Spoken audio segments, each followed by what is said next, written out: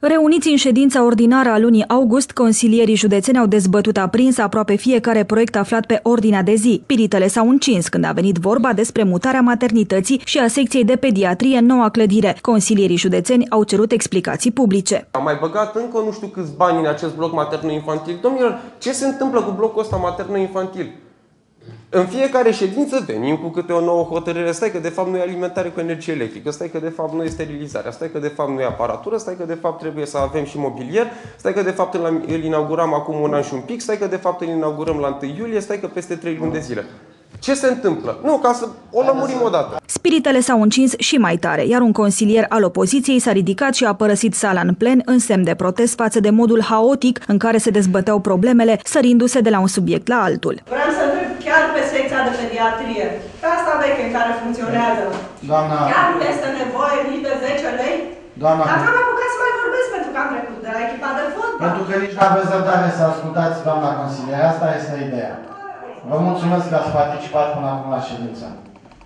Doresc ca data viitoare să fie una care are logică. Vă rog ca data viitoare să fiți mai atentă ca să ascultăm și intervențiile doamnelor directoare. Și tot probleme legate de activitatea Spitalului Județean au făcut și obiectul unor propuneri din partea aleșilor județeni. Aș ruga să facem un efort, să dăm ceva pentru acele bonuri de masă, spi- masă Spitalului Județean. Să facem un efort pentru luna viitoare. Și luna viitoare puțin și iarăși puțin, pentru că totuși În ultimile două luni, deci luna trecută și luna aceasta, nu s-au primit tichetele de masă, datorită unui stopaj la sursă, care l-a făcut administrația financiară, unor, datorită faptului că au trebuit recuperate niște datorii care trebuiau achitate la administrația financiară și care sunt vechi cam de un an de zile. Ca să lămurim cu tichetele de masă, în cel mai scurt timp posibil se va face plata tichetelor de masă. Am avut și mai devreme discuția cu domnul manager, am avut-o și zilele trecute, se va, se va face plata acestor tichete. Punctul 2.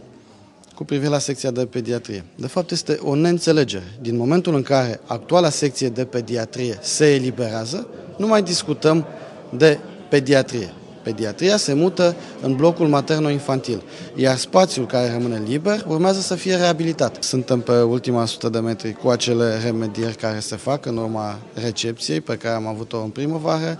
Mai avem o achiziție cu fluidele care se va termina în câteva săptămâni. Din punctul meu de vedere, cred că vom fi gata cu toate la sfârșitul lui septembrie, poate chiar începutul lui octombrie. În cadrul ședinței de Consiliu Județean s-a mai aprobat și alocarea unei sume de 100.000 de lei pentru susținerea echipei de fotbal Minerul Mehedinți.